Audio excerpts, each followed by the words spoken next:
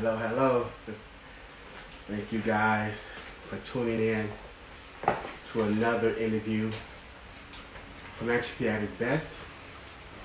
Thank you guys for all your continued support with King Solomon Entertainment as we bring you wonderful, great content and as we continue to just be committed to bringing you education, awareness, positive images, positive topics, and positive information as the platform continue to grow. We have another interview today with Philanthropy at its best. Another great organization, um, another great, great, wonderful, well-known organization we're really excited about today.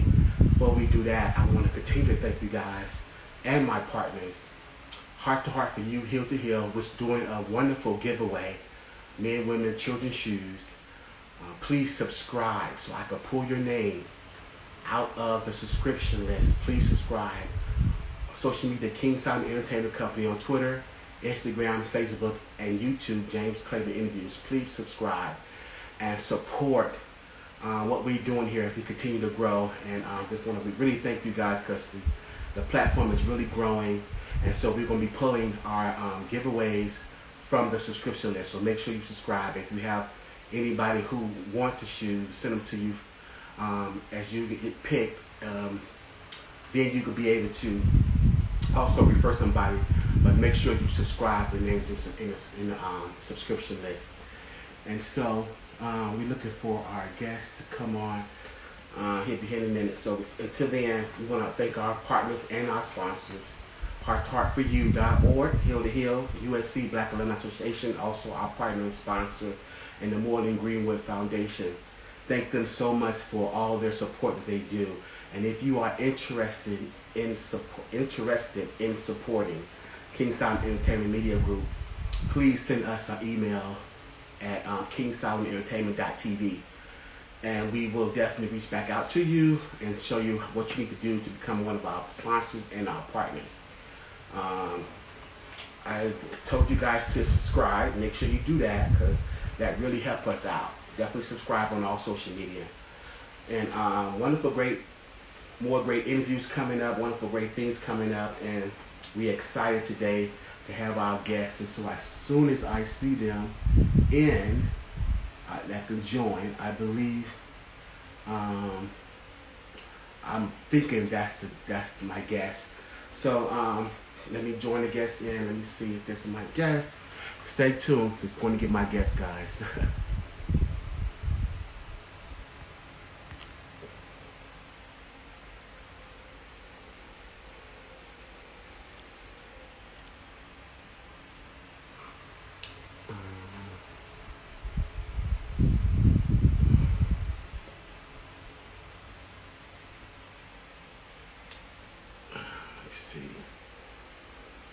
guest should be coming in.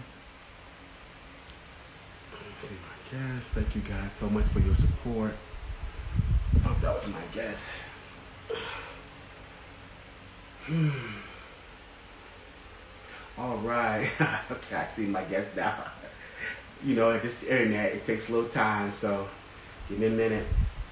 We're going to be starting the interview in one second. I think I see my guest. And thank you guys so much, man. So you guys have been so supportive. We getting it together. Definitely getting the production together. Everything is coming together. I'm really excited. It's gonna get better and better. Um, support for philanthropy at its best, Hollywood Now, and also um, KS News. And we want to thank you guys so much for your continued support and what we're trying to do to get the information out. Let me see if I can bring my guests in.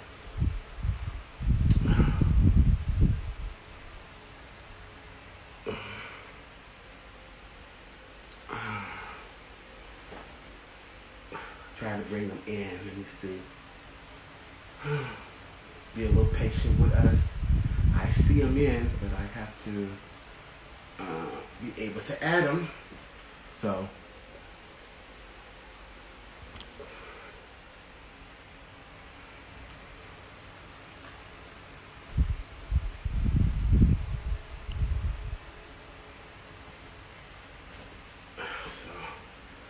Yeah, so um, Fletcher is Best, another great interview today. Um, soon we get our guests in, we'll start. I thank you guys for your patience. You know, the, the internet and trying to get them to come on. And I'm just going to continue to keep trying.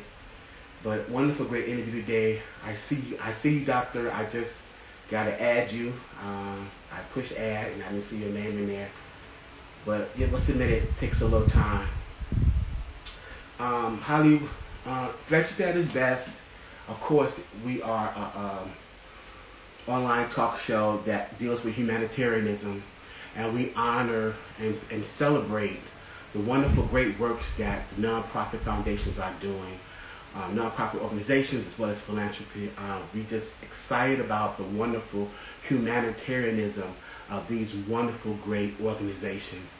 And, um, and we just want to give them a platform to come and share uh, about the wonderful work uh, that um, they're doing. Dr. Um, one, of, one of my friends to the show said you have to request me. If you could request me, doctor, I'll be able to add you um, uh, request me, doctor, so I can add you. Push request. You know, because a lot of the doctors they don't have a personal social media, so but give him uh, give him a minute. Uh, once he once he requests me, then I'll be able to add him. Doctor, make sure you request me so I can add you on. And so, thank you guys so much for all your support.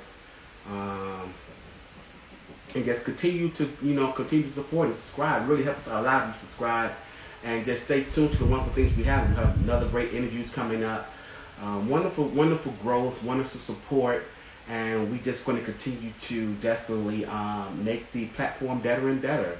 I'm really excited about everything that we have accomplished so far, and um, just excited about it.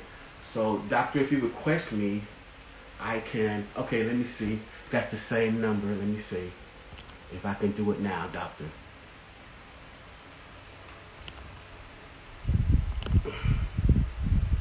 Doctor, did you request me? Okay, let me do. Okay, he gonna do it now. He said, "Let me do that." Okay. Yeah. So before I used to panic at these things. Now I'm a pro, so I don't panic no more. Just ask you for your patience, and going to definitely get started with the interview in a minute um, dealing with the internet and production. This is what happens. And so uh, will definitely encourage you guys to subscribe for us. I cannot stress it enough. Definitely partner with us as we continue to grow and we'll grow together. So definitely reach out to us, King Solomon Entertainment.tv if you want to um, become a sponsor as well as a partner with us. Um, it's another interview with Philanthropy at its best. This is what we do here. We honor and celebrate uh, nonprofit organizations uh, humanitarianism foundations as well as uh, philanthropy um, involvement and um, community give back.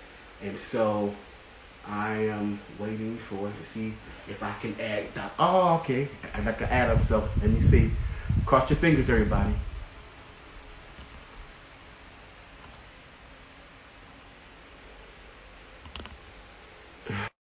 Hopefully it worked that time. Doctor coming on.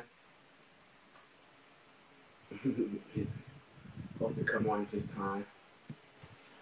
Thank you so much. It's coming up. Hopefully it's waiting to join so Doctor can come on. And so you, you you are joining us for another interview with Philanthropy at its best, where we honor we pay homage to uh, right, Doctor. We pay homage to humanitarianism nonprofit organizations, foundations, as well as philanthropy um, in endeavorment as far as changing lives, one people, one person, one organization at a time. And we here with another great organization. I think gotta be a patient with the internet, but we're here with none other than American Heart Association and American Stroke Association. And I'm so excited to have you. We're here with Dr. David Pryor. Um, if I could just read a little bit of your bio, doctor, just a little bit, because the bio is so long, and I'm so excited to have Dr. Pryor here today. But just, I'm going to a little bit see if I can do a little justice a little bit. Uh, undergrad at Stanford, that was very impressive. Medical school, San Diego, UC San Diego. Uh, master in health healthcare at UC Berkeley. Uh, he served on the board of the American Heart Association, uh, executive VP of, and medical director of ANDA and um, also a, a, member of the Commercial Business Association, Aetna, uh, A E T H A. I never how to pronounce that. Aetna, as well as uh, WellPoint Anthem, a certified um, medical board member as well, and the founder of BlackWomen'sHealth.com, among other so many under, wonderful other accolades and accomplishments. And I'm so happy today to have on Philanthropy at its best, the American Heart Association, American Stroke Association, Dr. David Pryor. Thank you so much, Doctor, hey, for thank doing you. our little platform and our outlook. Thank you so much. And so, if you could somewhat introduce yourself a little bit, I know I did a little justice, but you formally introduce who you are and what you do. Yeah. Okay. You, can you hear me? Okay. I can. You can. Okay. Hey, so first of all, just apologize for the little technical techni- technicalities there. You know, I was trying to get on Instagram from my laptop, and I had to have my I got two two daughters, and I had to have them come in and help me a little bit Yeah. put it on the phone. So that's why it was a little mix up there. But excited to be here today, and and as you said. Uh, Dr. David Pryor. So I'm an internal medicine doctor. I'm a physician, board certified, and I am, work as a uh, executive at one of the large health insurance companies. And also, though I'm on the board of directors for the American Heart Association, so that's in a sense how I'm coming to you today to talk to some about the American Heart Association, about a lot of things that I'm sure you're going to ask me about in a few minutes. But excited to be here. Always excited to be able to share some medical information that hopefully can help people kind of live this healthier, happier life. So, really excited to be here, James. Yes. So can we start with, um, I guess, a concise denotation of what heart disease is and how it affects us, as well as the stroke? Exactly. So, you know, heart disease is this big category when you're talking about everything from high blood pressure, it's considered part of heart disease. Uh, and I'll talk about the people that have strokes. That's all, we call it cardiovascular, right? So, cardio refers to the heart, vascular refers to blood vessels like arteries and veins, right? So, cardiovascular is, is, is the heart and all the other uh, vessels that supply it. And so, um, you know, heart disease, heart attack, stroke, all these things that we hear about, they have a big effect, especially on African American community, right? As many of you know, you know, we have higher rates of high blood pressure, we have higher rates of diabetes, and when you have high, those higher rates, then we also then have strokes. Probably many people can know somebody in your family who's had a stroke at some time, unfortunately, right? So all those diseases really affect us, and James, you've seen a lot with this COVID, right? Yes. Even talking about COVID, who is it affecting the most? Unfortunately, it's the, the, the Latinos or Latinx community and African American community really are getting affected the most. And they say why? Well, one of the reasons is because, you know, it's people that have higher rates of high blood pressure, obesity, diabetes. You know, when this disease COVID hits you, it, it really uh, has a stronger effect. So a lot of things we can get into, but that's what you know cardiovascular or heart disease is. And the stroke? Yeah. So stroke, when we talk about stroke, that is, in, is in a sense a a lack of blood supply often to the brain, right? So somebody has a, a either clogged arteries coming up here in their neck, these carotid arteries, right? And when those arteries are diseased or there's a plaque built up, you lose the blood supply to the brain, and that, in a sense, is what causes a, a stroke, right? And with a stroke, you sometimes can then have some of the the classic symptoms, and there's something we call FAST, F-A-S-T, that some person can first notice a facial droop. One side of the face starts to droop, right? So sometimes you'll tell people to smile, and they can't smile normally. One side will be drooping, so that's part of it. Sometimes their arm is affected. The arm can go numb, or they may lose feeling, or they just can't move it at all, right? The other thing to think about is speech. Mm. Somebody can't talk, they can't get their words out, or they're slurring their speech, right? So all those things are some of the symptoms of stroke. And the biggest thing there, the last thing on that T is to really call immediately, right? You need to call 911. If you can get people to the hospital as soon as possible, there's treatments that we can do that hopefully can almost like reverse those that the stroke that's happening, right? Give them certain certain medications. Um, but James, as you know, oftentimes again, you know, if you see somebody who then is in a wheelchair or maybe they're paralyzed on one side of the body, sometimes that's the effects of a stroke. Wow. So, so what? Why is it important that um, we we really pay close attention and listen to our bodies as as we go out through our, our everyday? Because these are the kind of things that can just sneak up on you, and it could be quiet sometimes. So, yeah. what are some of the things we need to listen to with our bodies? Yeah, well, that's exactly right. You know, high blood pressure or hypertension, you know, we often used to call it the silent killer because many times you could have high blood pressure and don't even know it. You, know? you feel pretty good, and think of a lot of people maybe 30s, 40s, those ages, you could be having high blood pressure and you may not know it.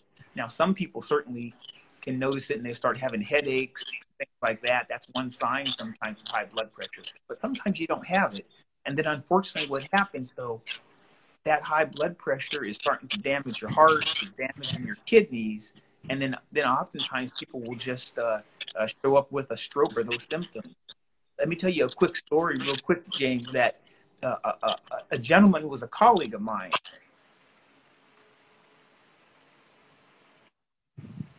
you know, he had never gone to a doctor for many years. He said, I'm healthy. I play basketball on the weekends. I've never gone to a doctor.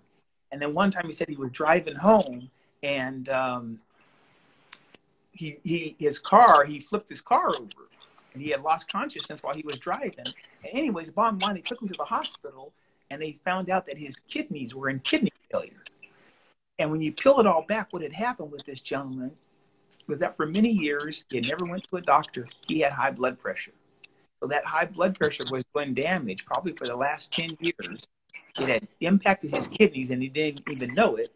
And then probably what happened, he was driving, the high blood pressure was so much he blacked out driving, lost control of the car and crashed it, right? That's how it all went.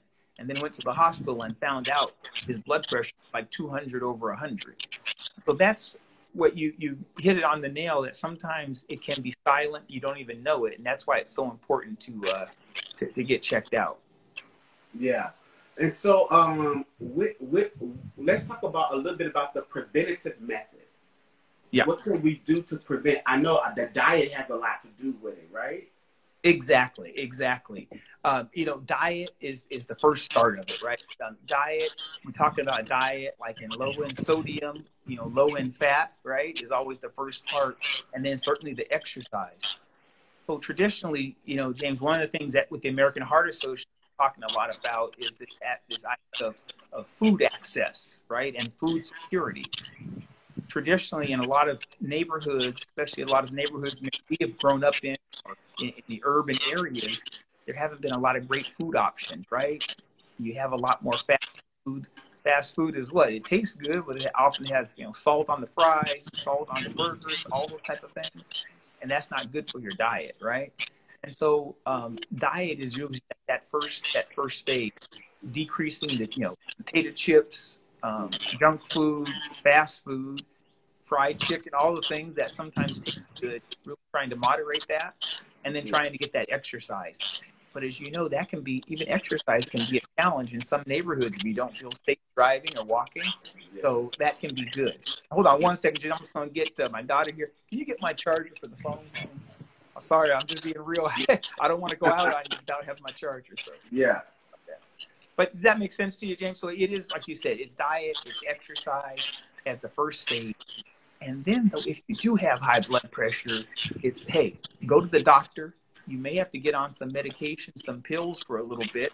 But you know, I always say, what's what's worse, you know, uh, taking a pill once a day or having a stroke where you can't even walk. So if you look at it from that standpoint, um, I think that the, for me the answer is easy. That you really have to, you know, take care of yourself and and try to prevent these diseases. Now, as well as like hypertension too, also leads to stroke. If that got like with stressed, right? You kind of stressed out and stuff. Yeah, you talked about stress. Stress certainly plays a big role in there. I'm just adjusting my phone here. Sorry yeah, yeah, go ahead. All right. Yeah, stress. Yeah, that certainly plays a big role in, in all this as well. Um, and give you an example. When you're talking about even about African American women, right? And talking about um, premature births, right? And you know, premature births and, and poor birth outcomes. They've done these studies where you're looking at white women versus African American women, right? Even if you have African American woman who is college educated, has money, has insurance, all those things, they're still finding these differences that our African American women are having, you know, premature births or poor infant mortality, all those types of things. And they figured out why is this happening? And they've concluded that there's this level of stress that just comes with, you know, being black in America that plays a role in all of this. So to answer your question, yeah, I think that's really true that, um, you know, people that are living under stress, you know, again, you know, issues with job security and all kinds of things that can play a role in, in, in raising blood pressure and just it, having poor health in general. So that's very important. Yeah. So let's go back for to the diet for a minute. What yeah. what can we really do? Because you know we we we in like mass production of food and a lot of processed food. How can you really avoid that when a lot of the food is bad that you buy everywhere? Yeah. Because of yeah, what's in them, GMOs and all this stuff. Yeah. I mean, I think the thing, the basic answer is the more you can do to make sure you're eating fresh fruits and vegetables and putting that into your diet every day, that's certainly the best start, right? You know, many people will say, even when you go to the grocery store, right? You heard that they say stay on the outside of the grocery store, right? Because you know, go in the store, often the fruit and vegetables is on the outside. When you get inside those inner aisles, right? Is more the processed food, the cakes, cookies, stuff. So they they try to stay on the outside aisles. I've never right? thought of that. That's so true. That's so yeah. true. so that that's one part, right? And it, it takes a lot of just discipline, right, and willpower. Because I said it, it's easy. I mean, some of the things that that aren't good for us, right? I, they do taste good, right? I think yeah. sometimes fries taste good. I mean, that's real, right? So you're kind of battling that, but trying to say, gosh, I really want to invest in myself, invest in my health and my body, right? More than anything else. And so I would say just it's small steps. You know, some people go all the way and they say, hey, I'm going to be vegan, I'm going to be vegetarian. I, I think that's great if you can do that. But for most people, it's hard to make that big of a shift, right? So I would say, you know, making the small steps. Here's one thing I would tell people even if you, let's say you really want to go to burgers, I don't know if it's Burger King, McDonald's, wherever you want to go, right?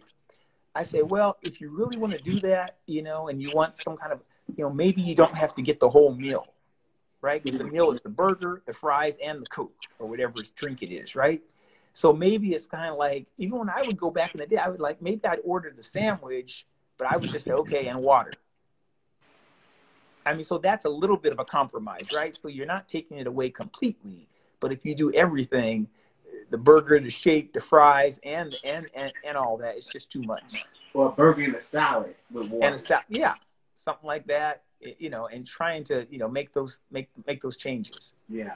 So working with the American Heart Association, American Stroke Association, what yeah. are some of the challenges? What is some of the misconception about getting the right information out there? What are some of the challenges in that? Yeah. Well, one of the biggest things that we're talking about now is this attitude of uh, don't die of doubt. So one of the things that we found um, with COVID, oops, is that a lot of people um, that were having maybe heart, chest pain, heart attacks, or maybe strokes, they just weren't coming into the hospital, right? They weren't coming into the hospital because they think that, gosh, I don't want to catch COVID, right? And we're saying, no, you know, you can't you can die at home because you're scared of going to the hospital. And they did this study with um, uh, a poll by Harris, and it said that like over 50% of Latinos and about 45% of African Americans, they really says, hey, I think I may rather stay at home as opposed to going into the hospital because I don't want to catch COVID. And what American Heart Association is saying, hey, no, that's not the right answer, right? That you can actually go to the hospital if you're having those symptoms. It's better to go to the hospital. The hospital will take care of you, and now there's a lot of you know protocols in place to say that hey, it can be a safe place to go. It's a better place to go into the hospital, get treated for your heart attack or possible stroke than staying at home. Because the one thing we know, if you stay at home too long, especially in a stroke, right? Every second counts. And when your brain is not getting oxygen, right? That's what happens, right? You get a blood clot, your brain is not getting that oxygen, you can have permanent damage. But if you can get into the hospital very quickly and we can give you some medications to open that clot up and restore that blood flow to your brain, then we can save your brain function. So that's the whole idea of this, you know, uh, uh, Don't Die of Doubt program. Don't Die of Doubt by the American Heart Association. Yeah, uh, but also uh, attached to that, Dr. Pryor, with the 911 calls, people also think of the cost. People also think uh, was misinformed about uh, the curbside assistance. When you go and you had an issue, they were telling you to call, make an appointment. They wouldn't let nobody in. And so that also discouraged a lot of people as well, as far as how do you get the correct information. So it's so important that you putting this out there because people real life experience was different in the midst of the pandemic. You see what I'm saying? Exactly. And so yeah, when they went out there, they they were saying they was getting something totally different, you know. And so it, it was unfortunate, but I, I'm so excited about what you guys are doing and that's why we have this platform um, because a lot of humanitarianism is on the front line right now, and so it's really imperative that we get the right information out. And so that's why I'm so glad to have you guys here today. And so yeah, but that was one of the that's one of the, the discouragements in that the 911 code during this COVID time that people experience people experience was different big difference. Yeah and so so we're trying to do a lot of that really improving that communication because again that's that's one of the biggest things that came out of this is that you know our communities were really you know being impact impacted in a really negative way. So hopefully you know by doing shows like this by your platform here which i think is so great getting information out there that people will really know that you know um, let's be clear as much as we can right? And that if, if again don't stay home go out there and seek the care. And you know that's a, a, better way to go. But i totally understand what you're saying that sometimes we haven't been perfect in the messaging. And so uh, I, I, think that uh, you know, hopefully shows like this and others will be able to uh, you know illuminate that that aspect yes. Well thank you uh, thank you guys so much for tuning in to another interview with philanthropy at its best. And we're so excited to have the american heart association american association with dr david pryor today and um, please make sure you reach out to American Heart. What's what's the website for you guys? Yeah, it's AHA, American Heart Association.org, AHA.org. And we have, you know, chapters all across the country. You know, obviously this is the, the Los Angeles affiliate where we do a lot of, of, great work out here. But it's been around, as you know, James, since 1924. There were six um, cardiologists, six heart doctors that started American Heart Association. And again, the biggest things here in Los Angeles is we're really focusing, you know, on improving food access, food insecurity access for that for people, and we're trying to just get the word out. And last thing I'll say, one of the biggest pivot is that now we're starting to see that we really have to do more with our communities, especially our communities of color, right? There's all these issues with housing, with food access, with you know, violence and, and, safe communities. And so American Heart Association is really doing much more in that area. Years ago, we just used to be focused on the heart only, right? Heart and, and blood pressure. But now we're saying we have to branch out and do more. And so that's yes. why we're so happy to be on a show like yours and others to show that we're very close to the community.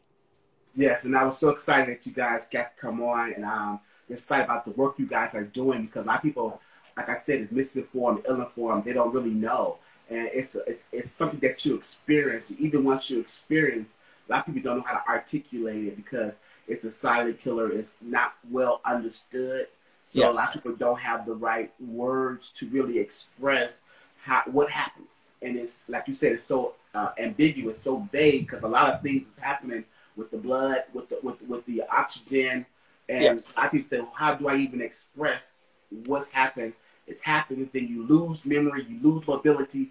It's you, you know, so where do it, you know, so where do you start, where do it ends? Because it's such a, a uh, it's such a, a very, very, um, um, you know, sad uh, experience, and a lot of people don't know how to articulate it to prevent it moving forward. It's something that you experience, and it's yeah. very traumatic, you know. And, and then one of the other big things that I think I wanted to mention too is with um, tobacco uh, you know, one of the biggest risk factors for heart disease beyond, you know, you know, your diet, high cholesterol, high blood pressure is smoking, right? And so that's one of the big things we've been very uh, uh, concerned about is really trying to you know decrease people from smoking.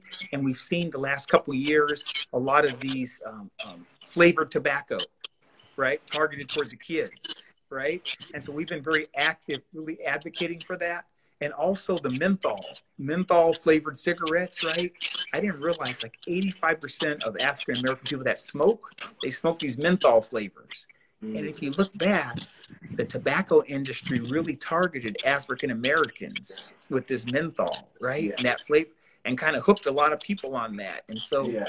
that's another big thing too smoking tobacco especially cigarettes that really accelerates heart disease. So we're really trying to get that word out too and making sure that all these billboards and advertisements that's been in our communities trying to tell these big drug com- these big tobacco companies you know stop targeting us start you know for profits. They're, they're really killing us over profits you know? Yes.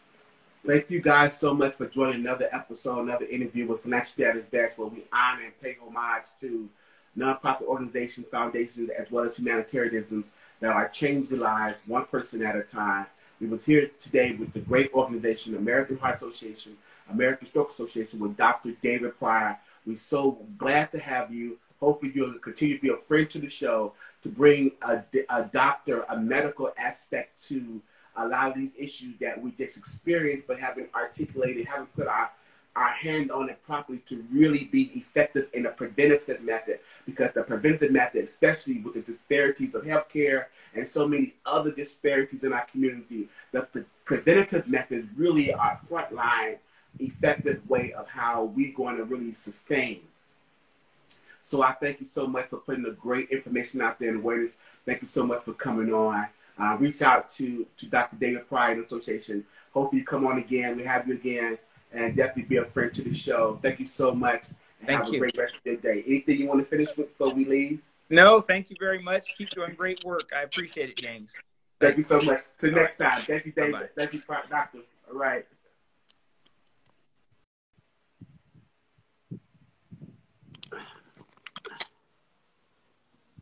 Oh my God, help me today.